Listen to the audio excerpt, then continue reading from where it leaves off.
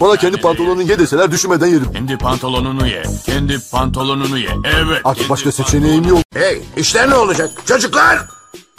Sus neden kendi pantolonunu... Evet çok iyi Mac şapşalıt. Bunu düşünmek bir saat sürdü ama değdi. Defolun buradan. Sizi tuz yalayan boru öttüren baş belaları sizi. Mak şapşalıt. Beni derinden yaraladı. Endişelenme Dipper. Görünüşe göre artık ailenin kahramanı Mabel olacak. Gideon'u kanca tabancamla yeneceğim. Mabel alınma ama kanca tabanca bize hiç yardımcı olmadı. Öyle mi? Ritel kavanozu.